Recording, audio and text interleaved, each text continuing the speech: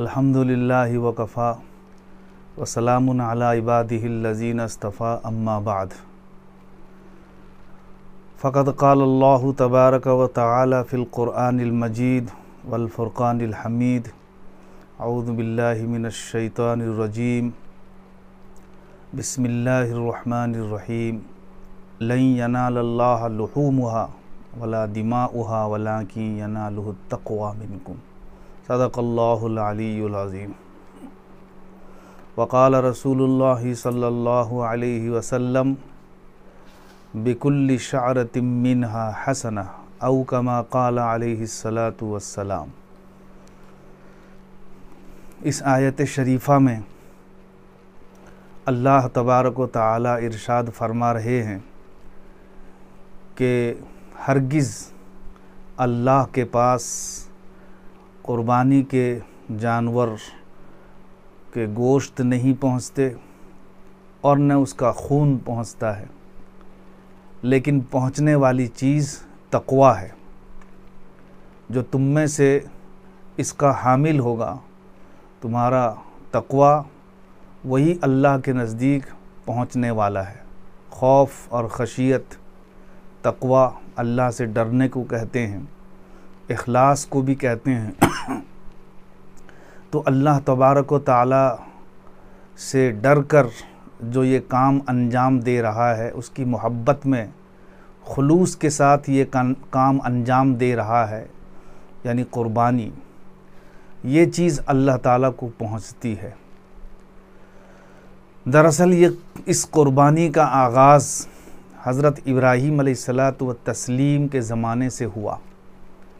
यानी ये जानवरों को ज़िबह करना, वैसे क़ुरबानी हर मज़ाहिब में चला आ रहा है। लेकिन जानवरों को ज़िबह करना और ये दस्तूर और ये उसूल जो शरीयत मतहरा में है, ये हज़रत इब्राहीम सलात व तस्लीम का तरीक़ा और उनकी सुन्नत है। जैसा कि हदीस शरीफ में ये चीज़ भी आई है कि जब साहबा कराम रिजवानुल्लाह तम अजमैन ने पूछा कि या रसूलल्लाह, मा हाजिल उज़ाही, ये क़ुरबानी क्या चीज़ है? ये उज़हिया जो क़ुरबानी के तौर पर पेश किए जाते हैं, ये क्या चीज़ है? इसके पीछे कौन सी चीज़ है या कौन सा वाक़ है? और ये क्या दास्तान रखता है? या इसकी हैसियत और हकीकत क्या है? इसके बारे में साहबा कराम ने जानना चाहा। नबी करीम सल्लल्लाहु अलैहि वसल्लम ने इरशाद फरमाया कि सुन्नत अबीकुम इब्राहीम, ये तुम्हारे बाप इब्राहीम की सुन्नत और उनका तरीक़ा है। पता चला कि ये सुन्नत इब्राहीमी है और बहुत सारी चीज़ें भी सुन्नत इब्राहीमी हैं। उनमें से एक ये क़ुरबानी भी सुन्नत इब्राहिमी है। पिछली उम्मतों में से हज़रत इब्राहीम सलात व तस्लीम की उम्मत या पिछले नब नबियों में से हज़रत इब्राहीम सलाम एक ऐसे नबी गुज़रे हैं कि जिनमें से बाज़ तरीक़ों को लेने का और अख्ज़ करने का हुक्म अल्लाह ताला ने आप सल्लल्लाहु अलैहि वसल्लम को फ़रमाया था।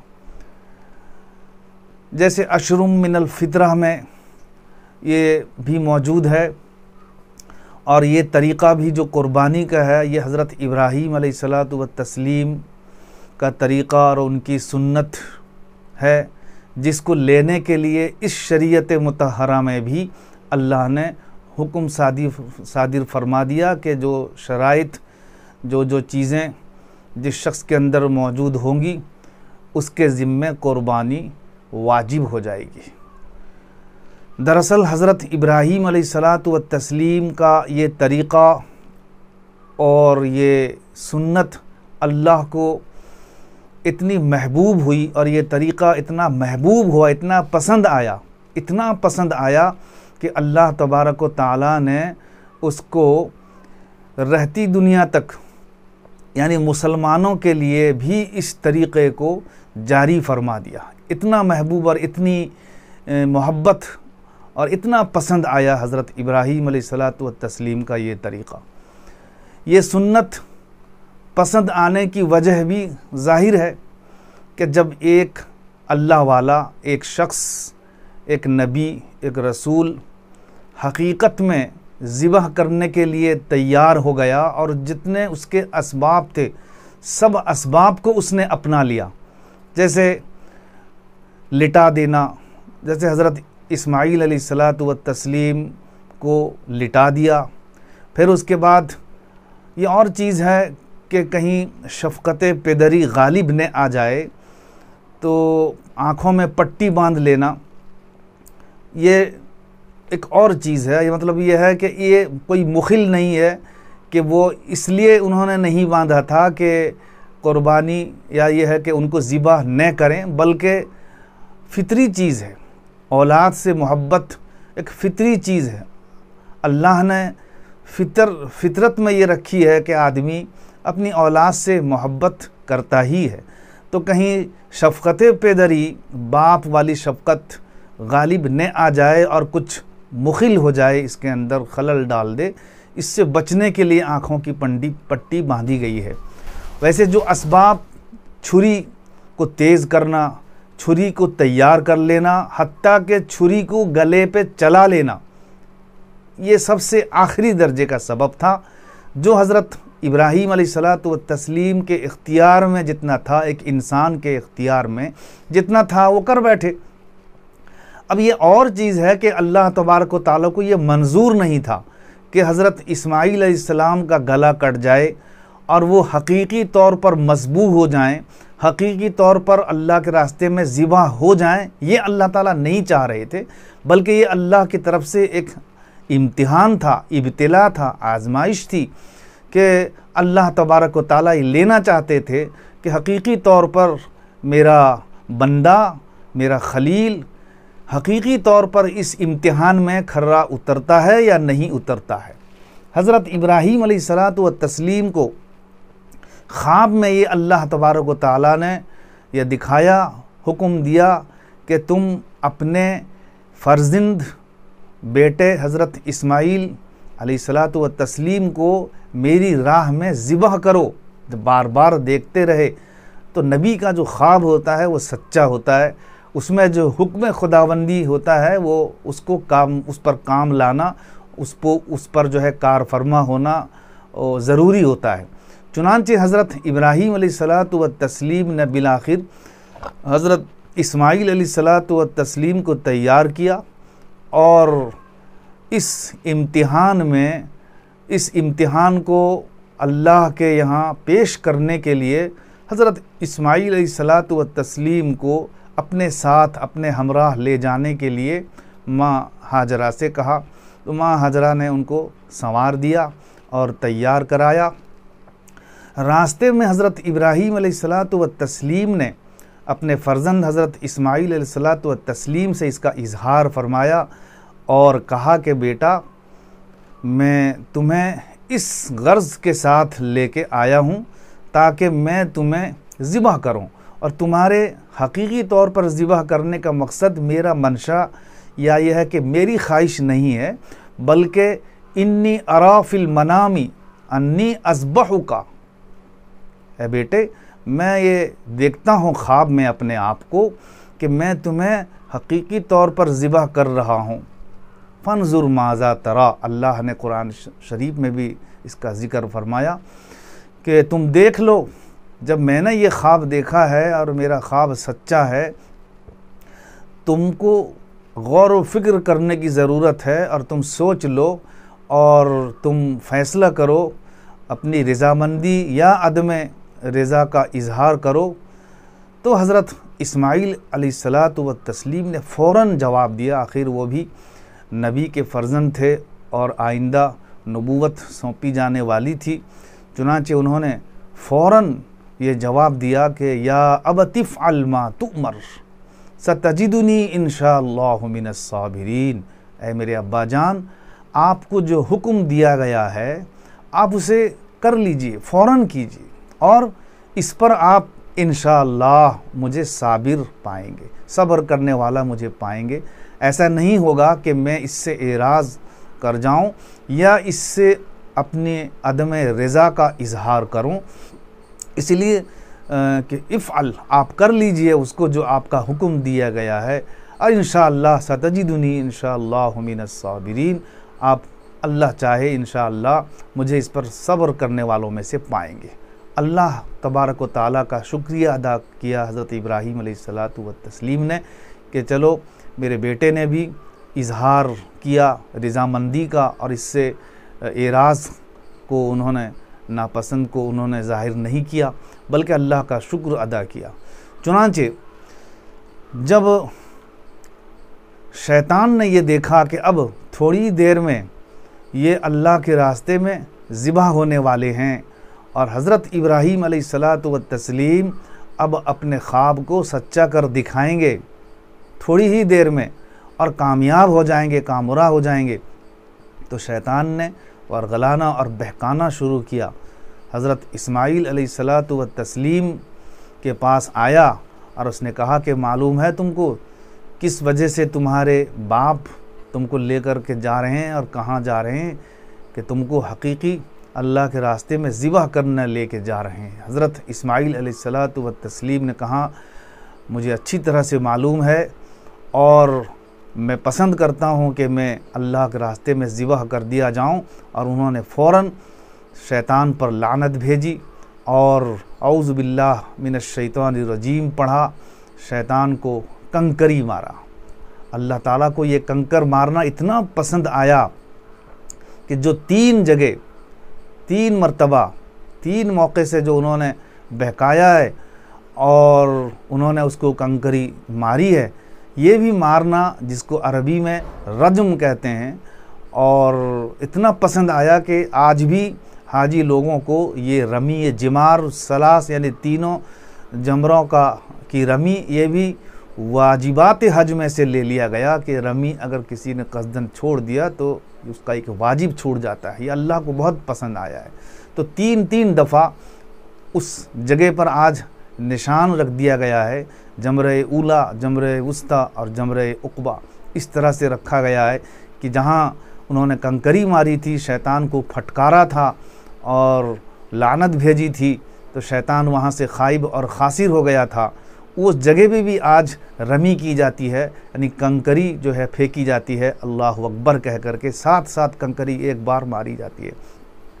तो जब अल्लाह तबारक व ताली के हुक्म से हज़रत इस्माईल सलात व तस्लीम राज़ी हो गए और वो मिना मिना एक मैदान है, उस जगह पर तैयारी हो गई और हकीकत में लिटा दिए गए, फलम्मा असलमा व तल्लहुल जबीन।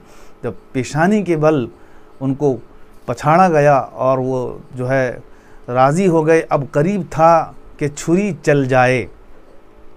तो अल्लाह तबारक ताली के हुक्म से हज़रत इब्राहीम सलात व तस्लीम के बेटे हज़रत इस्माईल सलात व तस्लीम के गले में छुरी न चल जाए। हुक्म अल्लाह का हज़रत जबरील इस्लाम को हुआ कि फ़ौर जन्नत से एक ज़िब अज़ीम, यानी दुम्बा लेकर हाजिर हो कबल इसके कि छुरी हज़रत इस्माईल सलात व तस्लीम के गले पे चल जाए। फ़ौर हज़रत जबरील सलात व तस्लीम तशरीफ़ लाए और ये सोच करके हज़रत इब्राहीम सलाम छुरी चला रहे हैं कि छुरी मेरे बेटे इस्माईल सलात व तस्लीम के गले पे चल रही है, मगर छुरी तो चल रही है, लेकिन उनको पता नहीं था कि खुरी, छुरी किस पर चल रही है। वो हज़रत इस्माईल सलाम के गले पर छुरी चलने का गुमान कर रहे थे, लेकिन चल रही थी ज़िब अज़ीम पर, यानी जिसका ज़िक्र कुरान शरीफ में आया कि वह नादई ना हो अया इब्राहीम। अल्लाह फरमाते हैं कि हमने आवाज़ दी इब्राहीम, कद सद्दतर रुया, तहकीक के तुमने ख्वाब को सच्चा कर दिखाया है। फ़दीना हो बिज़ब अज़ीम, और हमने एक ज़िब अज़ीम के तौर पर फ़िदिया उतारा और फ़िदिया दिया। तो ये जान के बदले में कि फ़िदिया हज़रत इस्माईल सलात व तस्लीम के लिए अल्लाह ने जन्नत से उतारा है।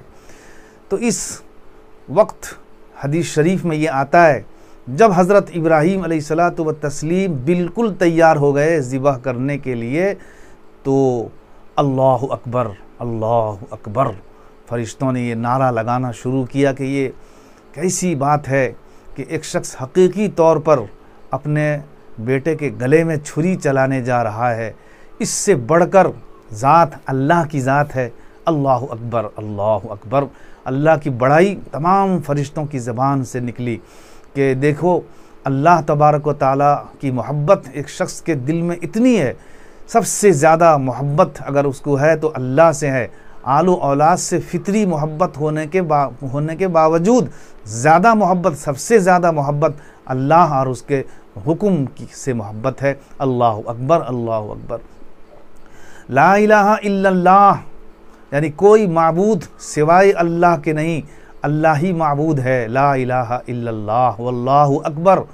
हज़रत इब्राहीम सलात व तस्लीम ने यह फरमाया कि सारी चीज़ें कुर्बान है। यहाँ तक कि आखिरी चीज़ जिससे मोहब्बत हो इंसान को, अपनी औलाद, वो भी कुर्बान है। कोई मबूद सिवाय अल्लाह के नहीं।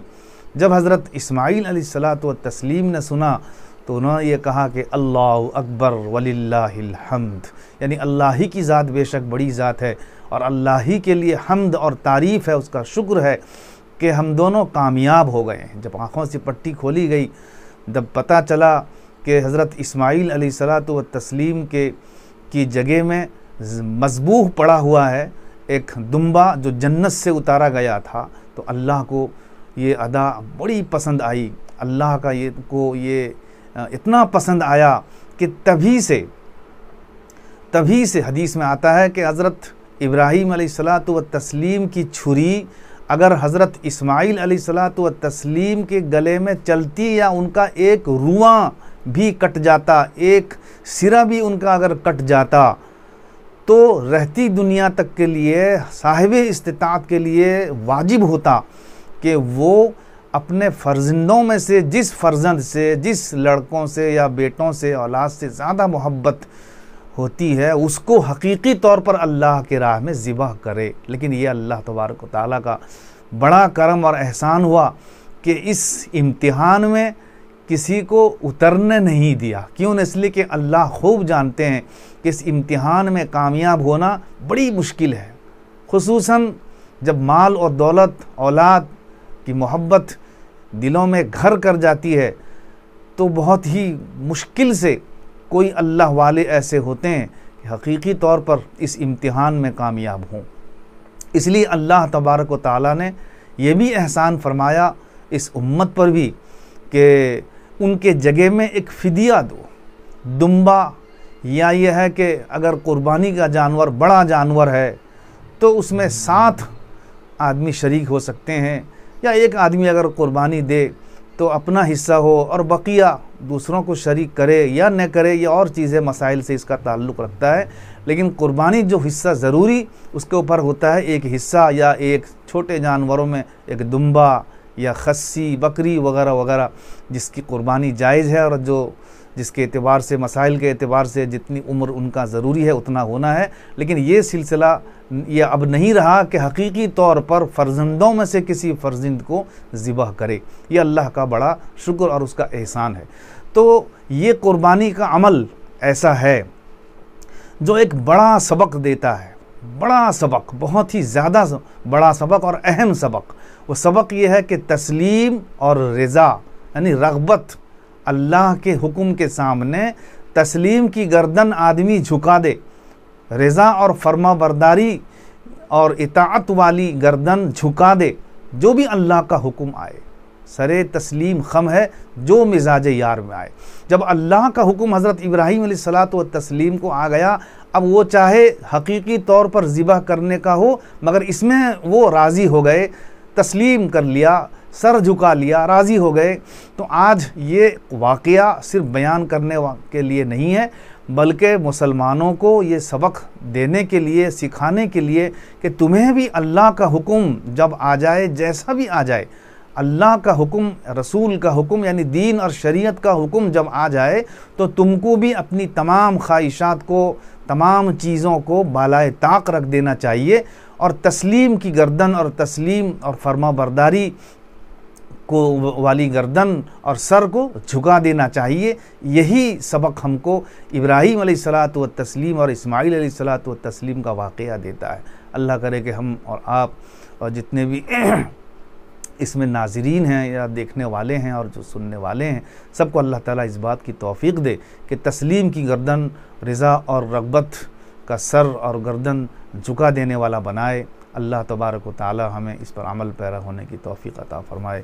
व आखिर दावाना अनिलहमदिल्ला रबालमी यम ए आर बी दीनी मालूम चैनल को सब्सक्राइब करें और घंटी वाले निशान को ज़रूर दबाएँ ताकि हमारी हर नई वीडियो आप तक पहुँचती रहे। वीडियो को लाइक और शेयर ज़रूर करें और हमारी हर वीडियो आप अपने चैनल में डाल सकते हैं। मीज हमारे साथ व्हाट्सएप पर जुड़ने के लिए आप अपना नाम और मुकम्मल एड्रेस के साथ एड लिखकर मेरे WhatsApp number eight nine zero eight nine three nine three four three को मैसेज करें।